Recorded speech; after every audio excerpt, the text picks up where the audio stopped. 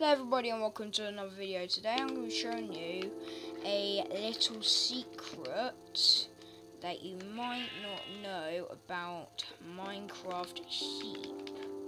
So we're just going to make a little pen and then we're going to add the sheep in.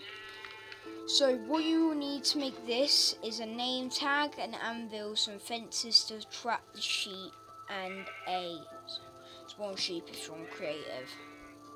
So put put your name tag in the anvil and then name it Jeb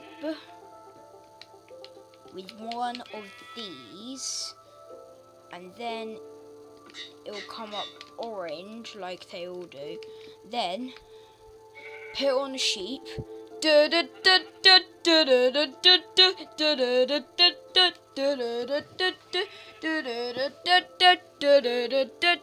yeah, you basically get a multicolored glowing sheep. So yeah, hope you enjoyed this video and I'll see you later. Bye!